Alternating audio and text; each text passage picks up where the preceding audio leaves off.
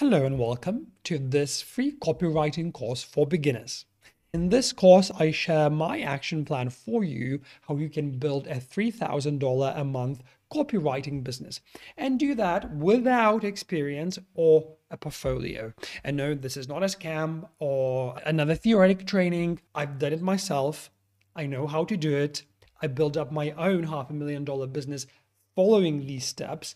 So listen up pick up your notebook, and let's get started. So, in this mini course, I'll share with you the following. We'll talk about what's copywriting and how to start making money from copywriting immediately, or at least within the next week or two. Then we're going to move on to talking about how to master copywriting as a skill fast within the next month. After that, I'd love to share with you my personal case study of how I went from making literally zero to having half a million dollar business. Then I'll talk you through my very quick strategy how to get your first client. After working through the inner workings of getting your first client, we will then move on to how to achieve your first 1K month as a freelance copywriter. And finally, we will finish the training with bonus resources for a new copywriter just like yourself. So let's get started. Sounds good, but who are you? Are you yet another online guru entrepreneur who's just thrown some slides together and has never ever implemented what they're trying to teach, like most of the people on the internet? No, Thank you very much. I am not. And here are three facts about me to show you that. No, seriously, this is the template that, or the strategy that I've used myself. This is how I've built my own business. This is how I first became a copywriter and then actually built up an entire business. So this is what I did. So first I worked as a copywriter making 100k in revenue and i literally got hired to travel around the world interview entrepreneurs and write stories about them. I, I was hired by, by this company, and in that year, I made over hundred thousand in, in copywriting revenue. Now, number two, what I then did, I used my copywriting skills, which I really believe is like the number one skill that every entrepreneur should master. So whether you just want to be a copywriter and make money out of it, or you want to be an entrepreneur and build up a business of any kind, Copywriting is the skill to have. This is how I built up my own online language school that so far has generated over $500,000 and taught over 5,000 students. And uh, the entire thing that I've done was really based on my ability to write copy and my ability to sell. And lastly, Whenever I teach copywriters, when I teach entrepreneurs, I draw on my experience as a classically trained theater director and scriptwriter, because this is where I've learned how to use words to a great effect and power. Now, do you need to have all of these credentials to get started as a copywriter? No, you don't. You don't have to have an education. You can still be in high school. You don't have to have this massive portfolio. And I'll explain how you can do that today, how you can start looking for clients without being the wordsmith of the world. So let's get started. One last reiteration of this thought. So when you master copywriting as a skill, you can literally turn your words into cash. It's literally like printing money. So if you want to learn how to print money, continue watching this training. And whether you just want to be a freelance copywriter, as I said before, and, and build up your little business to $3,000 a month, or you want to have a massive team and you, you just want to be a business owner selling whatever you want to sell, you need this training. You need to be a good copywriter. What is copywriting? So, Fiverr's definition Fiverr is this platform which is loved and favored by copywriters wanting to sell their services. Make a note if you want to be a copywriter, you, you want to make money, go check out Fiverr. Their definition is Copywriting is one of the most important elements of advertising and marketing. It's the process of writing persuasive words known as copy that inspire or motivate people to take specific action. Mm, very nice. But my definition of copywriting is bringing the product to the customer through the power of words. When you write copy, you take the product, whatever it is, it might be like a French press or a phone or, or, whatever, this microphone, and you find a way to bring this product into the customer's life in a way that it enchants the customer, even if it's a freaking coffee pot. This is the power of good copywriting, and it comes in many, many shapes and forms.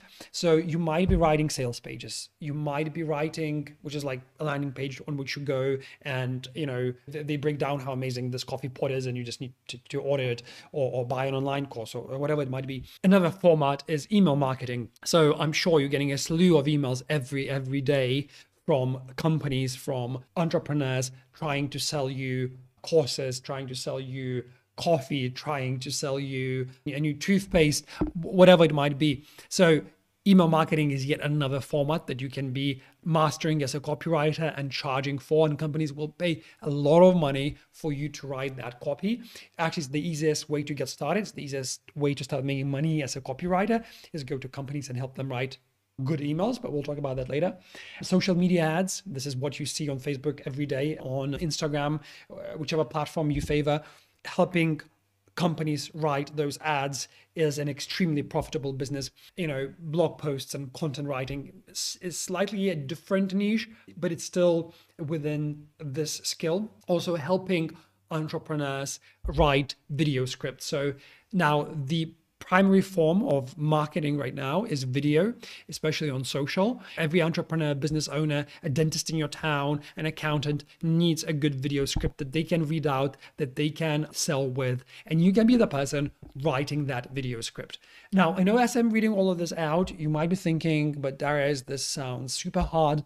I do not know where to start. You know, it, it's just like rocket science. I'll tell you what, it's not really rocket science.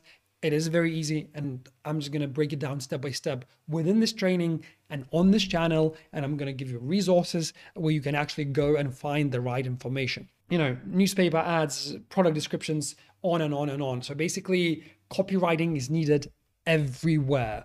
Now, let's address this fear that is probably bubbling up in you right now if you are a beginner copywriter and thinking, you know, so where do I start? Good news is that it's not like being a doctor you can't learn it on the job. You can't go into uh, an operating theater and just wing it. You can't. You can't Google up how to operate a heart. It's not going to happen. But with writing, congratulations, you actually can do that. but, but there's one thing that you need to do daily, and it's very easy again. So, number one, you need to write. And journaling also counts. You need to write as much as you can. Write copy about things that nobody has hired you to write copy about. If you like your iPhone, write a good article about your iPhone, or, or, you like a book, write a good Facebook ad about that book, getting people to buy that book. And, and if that sounds too complicated, simply open your journal and write whatever is going through your mind whilst it's not copywriting per se, is training your brain to think in words on paper. And the more you write, the more agency you have over your words, the more visceral your writing becomes. So, another thing is reading this is where you get like these fancy words from. No, but seriously, reading uh, is paramount importance. You don't need to have graduated from fancy uh, schools, colleges, universities, but you need to be reading. And if you haven't been reading up to this point and you want to be uh, a copywriter, I'll recommend you these couple of books. Read these books, and I promise you you will walk out with the foundational knowledge on how to write good copy. The first book, Breakthrough Advertising by um, Eugene Schwartz, is quite hard to get hold of because it's quite a rare book. It's quite an expensive book, but if you can get it, it's invaluable. It's literally your Bible for copywriting. It's your Bible for advertising. It's your Bible for learning how to start turning your words into cash. If you can, buy this book. If you were to buy one book right now, I would buy that book and just go and read it, like memorize it, like make it your Bible. So whenever you woken up at night, you can literally recite this book back. I mean, I'm exaggerating, but um, seriously, it's, it's a really good book. Another book, which is The Elements of Style, actually, I have it here on my table. This is a very technical book on actually how to structure your writing. It's not a page turner. It's a little dry, but it really teaches you how to structure your sentences, how to write, literally the craft of writing. This is a very useful one to have by your bedside as well. Now, as I said before, I am like a massive, massive fan of using screenwriting principles in copywriting. When you write Think of your favorite film. Any scene that is most memorable in that film would have been written and rewritten and rewritten thousands of times until it got approved to be actually acted out on the screen. Because script writing is the ultimate art of writing concisely, economically, of writing effectively. So, if you want to become the best copywriter, and I promise that's possible, just study how good films are written and just read this book, the Screenwriter's Workbook by Sid Field. You, you'll learn so many techniques that you can adapt in your copywriting that it will be beyond. It'll be like the best marketing course that you can ever get yourself into. Then the fourth book I'd love to recommend you is by Seth Godin, All Marketers Are Liars, Crossed Out Tell Stories. This is about how you bring in storytelling into your marketing. Seth Godin is like the best marketeer on the planet. He has an amazing blog. If you look it up, read his blog, read his book. And lastly, Influence, the psychology of persuasion. If you read these five books, you are set. Now, can you start copywriting before you read these five books? Of course you can, and you should. And you, you must start writing right now, and we'll get it to the point where I tell you how to get your first client. But as you are building up your client base as you are becoming a better copywriter, make sure you're reading these books and make sure that you're writing daily. There are two things read and write. And now we've got to part three of this training how to get your first client, and then how I did it, and how I went from charging literally zero and having no clients to then charging a thousand to charging 3,000, 5,000, and then having a half a million dollar business. Number one, what I will do is I will tell the world in your case, that you are now a copywriter. I know that it sounds a bit like, mm, really, should I? Should I now post? Like, I'm not a copywriter yet. I haven't started anything. I don't have a portfolio. No, you should. You should go on Facebook right now and do a post where you say, I began working with a number of entrepreneurs. I began working with a number of businesses as a copywriter. And this month, I have two slots available for a few new clients. If interested, PM me, DM me, whichever platform lingo you use, according obviously to the platform. And by doing that a few times, you might just get people in your circle notice the fact that you are now a copywriter. You wouldn't have spent hours and hours on writing a massive post or putting up a website.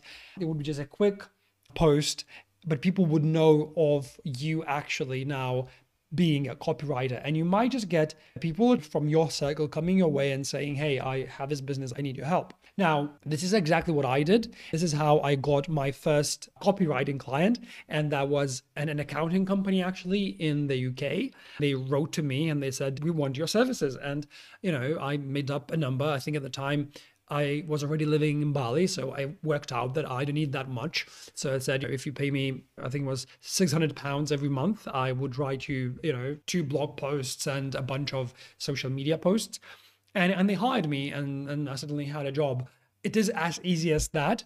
And even if nobody responds to your post on Facebook, what you then do, you think of who do I want to work with? So in my case, when I started working with this accounting company, they started referring me to these other accounting companies.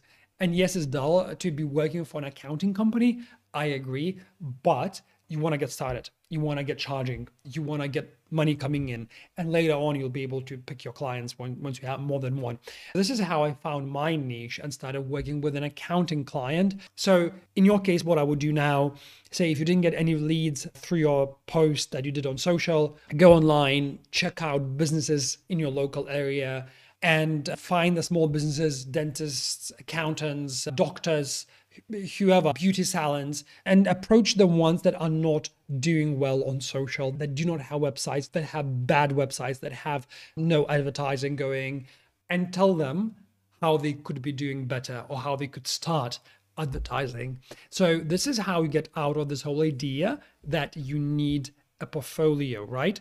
Because you literally giving them the steps how they could be improving their website, their ads if they run them on Facebook, how they could be positioning themselves better.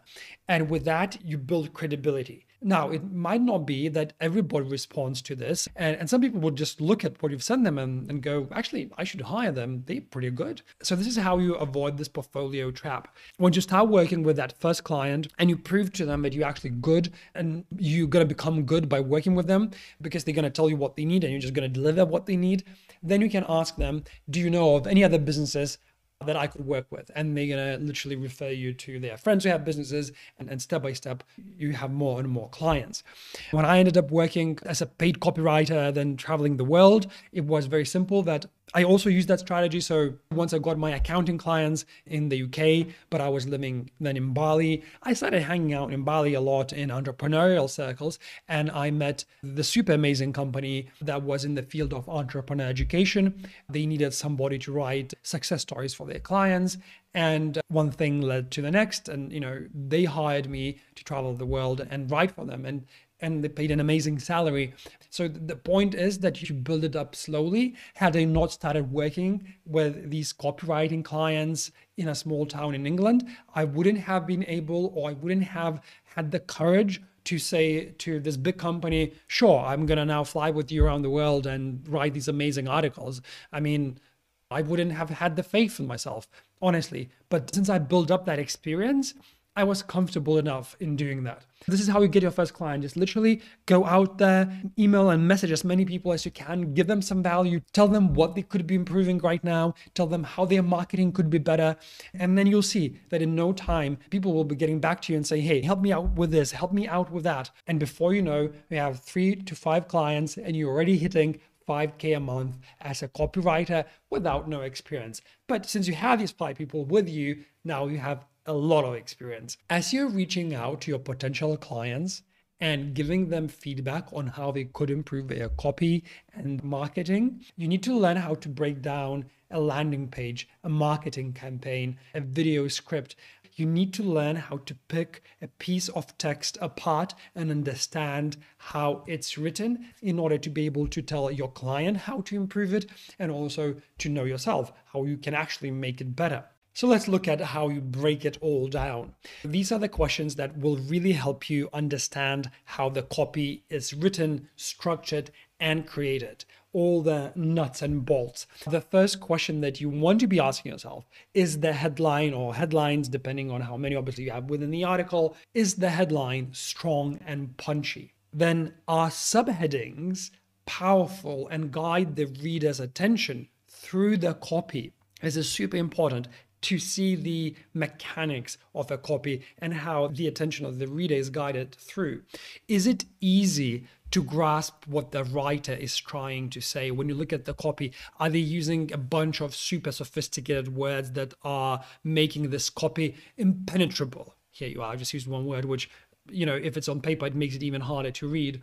Then you go and underline complicated and hard to read sentences. And then you ask yourself, okay, how would I be able to rephrase these sentences?